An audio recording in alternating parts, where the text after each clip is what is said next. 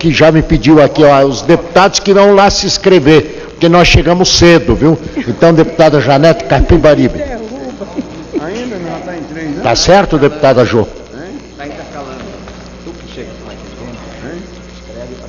Senhor presidente, senhores e senhoras parlamentares, 2 de abril é o Dia Mundial do Autismo, criado pela Organização das Nações Unidas em 2007 para conscientização acerca desse tipo de deficiência, ainda pouco abordado e conhecido pela sociedade em geral.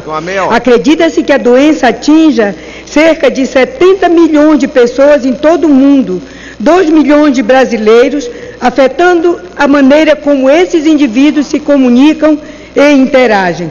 Resultado da incansável mobilização de pais de autistas e da sociedade civil, em 2012 foi sancionada a Lei Berenice Piana, Lei número 12.764 de 2012, que institui a Política Nacional de Proteção dos Direitos da Pessoa com transtorno do espectro autista e estabelece diretrizes para que essa política se concretize.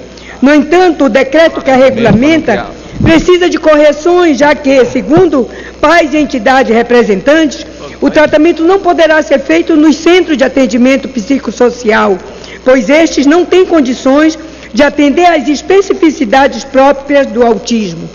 Como o transtorno é caracterizado como uma deficiência múltipla e complexa, seu tratamento não poderia ocorrer no mesmo espaço de assistência a dependentes químicos e portadores de doenças mentais. As associações de amigos de autistas, AMA, reivindicam a aprovação de duas propostas de emenda à Constituição que tramitam nesta Casa. Uma é a PEC 347 de 2009, que garante acesso à educação especializada para portadores de deficiência sem limite de idade ou nível de instrução.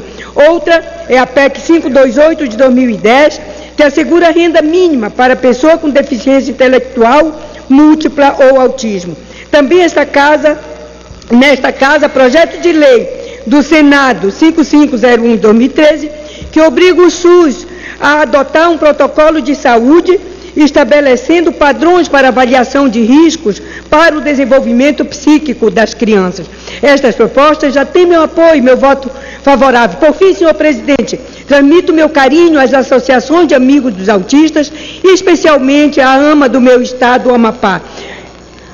É, para concluir, é, senhor presidente, os pais, mais de que ninguém, os pais têm compromisso é, com esse trabalho que realizamos aqui na Câmara Federal. Muito obrigado, solicito a divulgação dessa minha fala na Voz do Brasil, senhor presidente.